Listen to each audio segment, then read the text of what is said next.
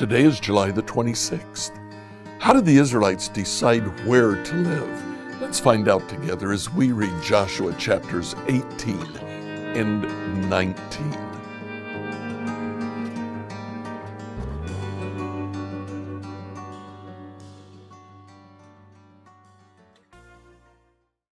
Reading through the Bible in a year, I'd like you to read Joshua 18 and 19 again uh, put up with the repetition that you're going to find there and uh, the incredible detail. There's definitely uh, something that we can learn from this. So in chapter 18, um, Joshua now comes to the remaining seven tribes. He has given allocations of land for the two and a half tribes on the other side of the Jordan River.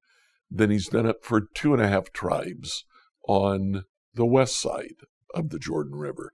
There are seven tribes left. In chapter 18, Joshua comes to the seven tribes. He says, uh, Pick three men from each tribe. Uh, we'll get 21 in all. We'll send them to scout out the northern territory. That's land that they had not occupied yet. Um, they scouted out that territory and then they brought that information back to Joshua. And the book of Joshua says very clearly that in verse 10 at Shiloh, where the tabernacle had been erected, Joshua cast sacred lots in the presence of the Lord to determine which tribe should have each section. Then he divides the rest of the land up between Benjamin, Simeon, Zebulun, Issachar, Asher, Naphtali, and Dan. Six of those tribes went to the north. Simeon actually went to the south. Uh, it occupied a, a piece of territory that was inside the territory already allotted to Judah, with the simple observation that Judah had more land than they knew what to do with. Uh, they couldn't occupy all of the land. So Simeon occupied part of that land. Essentially, Simeon disappears over the next centuries, and Judah sort of absorbs it. In the rest of the land, uh, the land is given.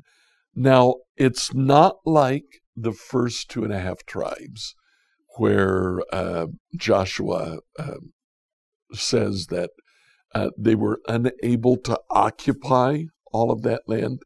Apparently, uh, they were better able to occupy the land, at least so we believe until we get to the book of Judges. But um, it's very clear this decision is left to God. Israel occupied the land as a matter of obedience to God. Uh, we see this at the very start. Joshua casts lots to determine who would go where. And then in uh, chapter 19, verse 50, for Joshua himself, the Lord said, I promised you a town and so Joshua, being from the time of t- the tribe of Ephraim, picked a town in Ephraim. And we see in verse 50, the Lord had said he could have any town he wanted. He chose Timnath Serah in the hill country of Ephraim. He rebuilt the town and he lived there. All through these chapters, God ordains that they will live in this place. God tells them where to go. God tells them what to do. How did Israel decide where to live? They looked to the Lord. Today, um, I'm not necessarily saying that uh, we should cast lots and determine where we live, but uh, you know what? Make it a matter of prayer if you are moving, if you've moved into a particular neighborhood Make it a matter of prayer. Listen to the Lord.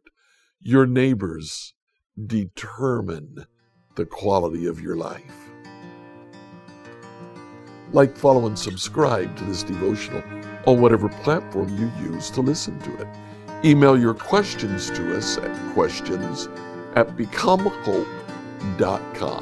Tomorrow, we'll answer the question what should we do when things go wrong?